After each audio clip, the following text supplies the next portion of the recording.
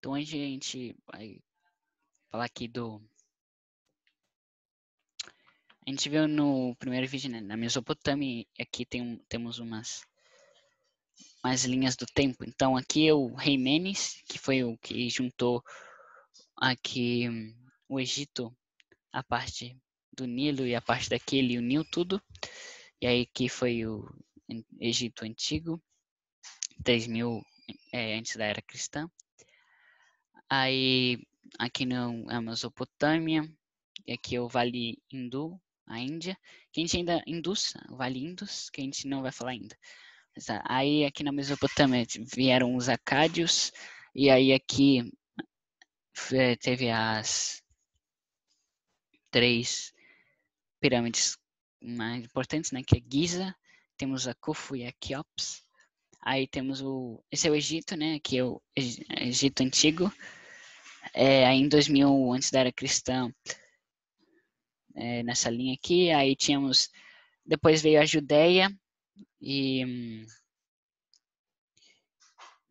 é, mais ou menos aqui teve Abraão que vivia aqui na Mesopotâmia, é, na parte de Ur, né?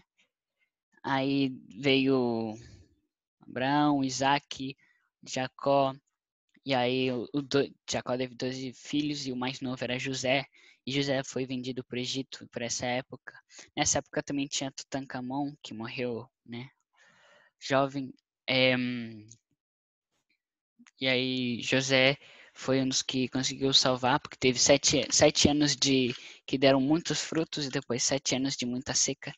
E aí é, eles conseguiram viver esses sete anos de seca. Aí depois veio Moisés, que libertou o povo do Egito.